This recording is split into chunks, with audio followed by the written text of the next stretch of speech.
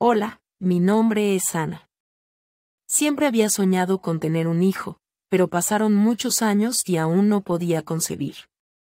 La tristeza llenaba mi corazón cada vez que veía a otras mujeres con sus hijos. En esos tiempos, tener un hijo no era solo una bendición, sino también una señal de favor de Dios. Me sentía incompleta y a veces me preguntaba si Dios me había olvidado. Cada año, mi esposo y yo viajábamos al templo para adorar y ofrecer sacrificios a Dios.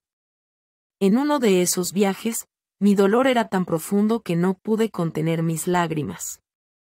Mientras mi esposo ofrecía sacrificios, me senté cerca del templo y oré con todo mi ser.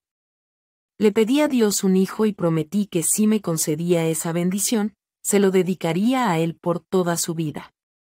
A medida que oraba, derramaba mi alma y mi tristeza delante de Dios.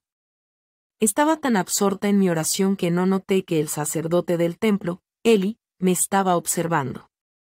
Pensó que yo estaba borracha por la forma en que hablaba y me movía.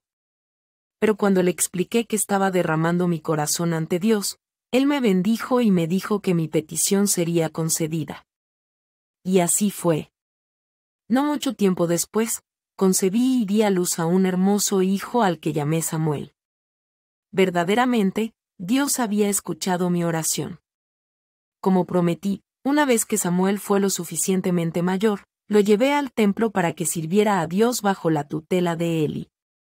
Aunque el camino fue doloroso y estuvo lleno de lágrimas, me enseñó a confiar en Dios y a creer en sus promesas. Samuel no solo fue una respuesta a mi oración, sino también un profeta y líder para nuestro pueblo. Quiero que sepas que, al igual que Dios escuchó mis súplicas, también está escuchando las tuyas. Nunca pierdas la esperanza y confía en su tiempo y plan para tu vida.